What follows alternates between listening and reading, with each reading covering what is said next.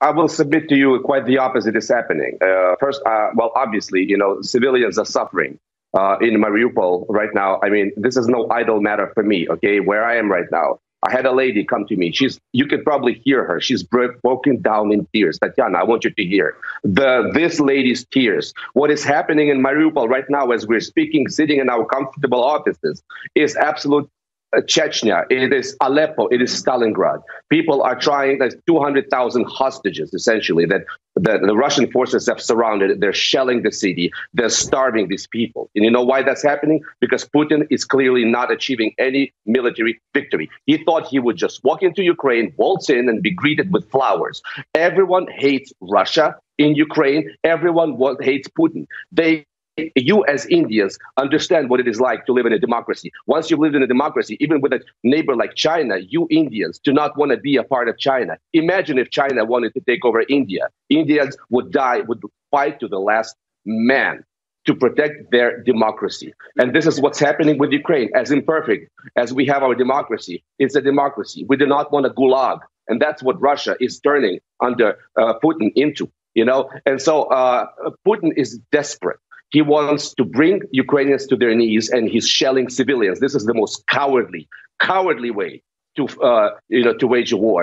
He is earning eternal shame and damnation for his people, for, for, for generations to come people. This is what's happening.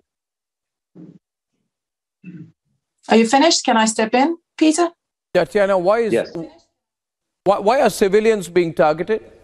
Why are civilians being targeted? Yesterday I did ask a Russian panelist that have you fallen short of Russians? That you are now depending on, on, on, on Syrians to fight for you? And now why are civilians being targeted? Arnab, nobody's depending on Syrians to fight for us, first of all. Second of all, uh, I love the fact that they did educate Peter very well in the US. You're paying you them. Know, that to, to portray this, you know, to transmit this lovely, um, yeah, it's like a script, seriously. Uh, what's happening in Mariupol and what we've been observing for, first of all, let's start from the beginning. Mariupol is the hometown of the notorious Azov battalion. Uh, you know, the Azov battalion, you know, the neo Nazis that are wanted for war crimes in Europe, not just, you know, it's not just Russia who's talking about them committing war crimes. So hopefully, Peter, you know, obviously the Russian uh, side is of no relevance to you personally you know you're playing for the different side but it's the Europeans who are admitting that the Azov battalion is guilty of war crimes and crimes against humanity. You can check this out. You know, maybe it will help you you get a better understanding of what's going on in Mariupol. We hear from civilians within the city, you know, that this Azov battalion, they're putting missile launchers on top of buildings. They're literally, you know, they're not letting civilians out nobody's targeting civilians. Nobody has targeted civilians so far. And uh, as to the remarks that you know President Putin wanted to go in and out, well, look again and again and again. If somebody wanted to get in and out, we would just bombed it to the ground. The Russian army is more than capable of doing to Ukraine what the US had done to Iraq, what they had done to the parts of Syria that they fought in. Uh, the Russian military within this operation has been adamant about the importance. I did not un- interrupt you, so you're not going to interrupt me, Peter. Can you stay quiet for one minute? Oh, thank you very much. That's lovely. Uh, the civilian population of Ukraine, specifically of Mariupol, I literally have people that I know personally there, and they've they've confirmed it that the Azov battalion they are in the hospitals and then they stage it to look like it's been, you know, a hospital has been bombed by Russians, which is preposterous. There are fake news that are being that are being broken down to pieces, you know, daily. We daily we see we see the same actors being shown as, you know, Russian soldiers captured by the Ukrainian forces. We see bloggers being photographed in maternity wards, and for some reason, you know, there's a maternity ward with just one pregnant woman in it that happens to be Ukrainian blogger, and she happens just happens to be there photographed leaving it. Uh, it is so disgusting what the Ukrainian side is doing in Mariupol.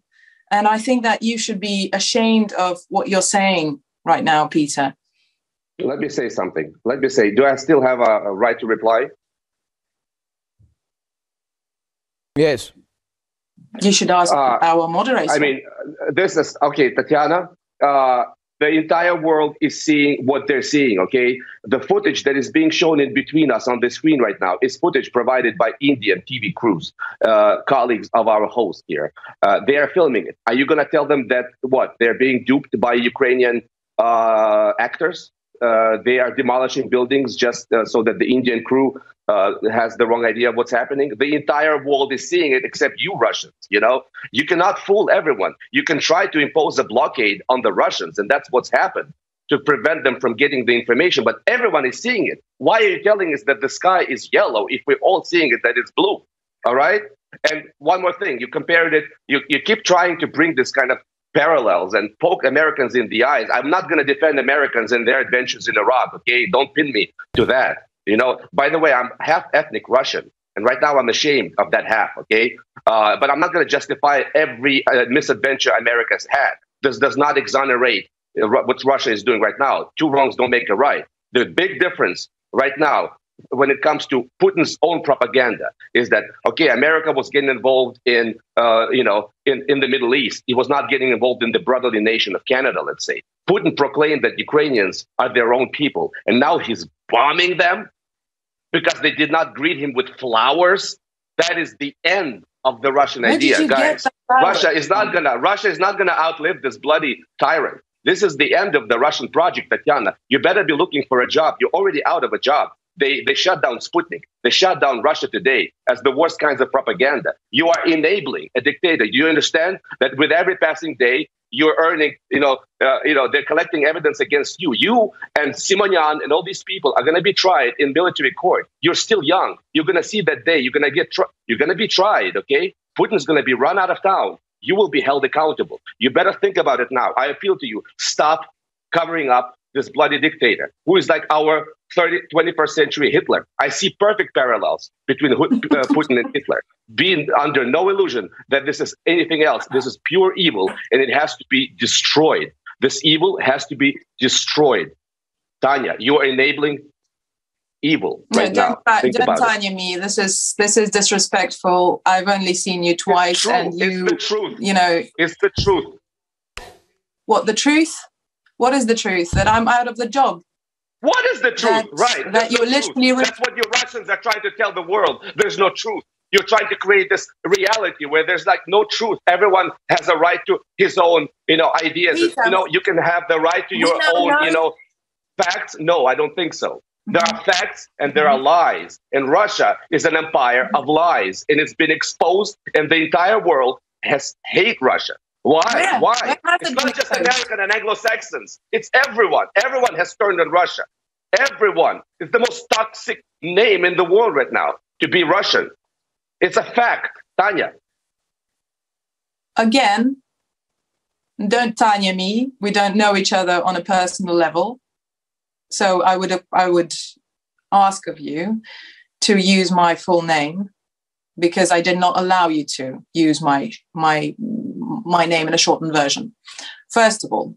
And I don't care how old you are. Second of all, uh, the whole world minus China, minus India, minus the whole of Asia and the whole of the Middle East uh, is not the whole world. And this is exactly what we're talking about here.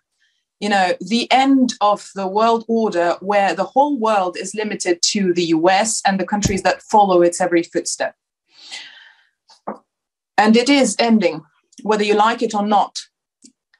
We're getting more and more evidence every single day of the fact that the Ukraine was, was swarming with weaponry, was preparing for a full on assault on the Donbass region to annihilate the, the whole of the civilian population of that region. That, oh, by the way, but you're calling it an anti terrorist operation, you're not calling it civil war, even you know, because obviously you're such a democratic country where killing 13 13,000 people is it's an anti-terrorist operation. Uh, don't you dare talk about Chechnya and disrespect the intellect of the people who are here on this panel and compare Chechnya to Stalingrad and Stalingrad and Chechnya to Ukraine. The Russian military has been and will be targeting the Nazi formations in Ukraine. Hopefully, this is going to end soon.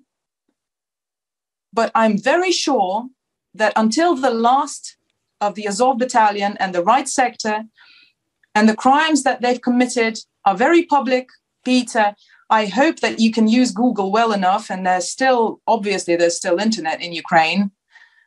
If you're still in Ukraine, then you can Google them if you don't know about them. So stop talking about a democracy. I know for a fact, firsthand, how they hunted down Russian speakers in Mariupol, how the right sector was hunting down Russian speakers in 2014 in Kharkov. I know this because I know people who were there and I know people who were tortured. No, I'm not going to let you speak. So this is, and I'm also, you know, we we agree on something for, for once. I'm also ashamed of that Russian part of you. There is a very, very nice development I find between the two of us that I, I'm also deeply ashamed about that ethnic Russian part of you because you sold your soul to the American propaganda and you dare talk about my job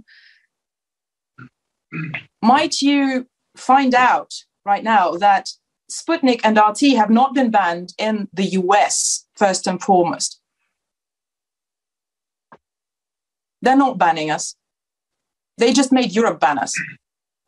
We're going to make them ban you. Thank you. Thank you for the reminder. I will make sure that they will ban you. Please you do. Know? Please call uh, your employers let, in let the me US. just interject. Tatiana, Tatiana, uh, uh, once again, we, we talked about it in previous uh, programs. You said you know someone from Donbass. I am from Donbass. I'm an You're not from Donbass. When Russian. was the last time I'm a Russian there? speaking. I'm a Russian speaker from Donetsk. Okay, my mother was living up there up until 2015. Do not tell me about any persecution. My family was living there. I am from there. This is a pure fabrication and a lie. None of it happened, period. Okay? None, folks, none, zero. Complete fabrication. You, you go to Kiev, people still speaking Russian.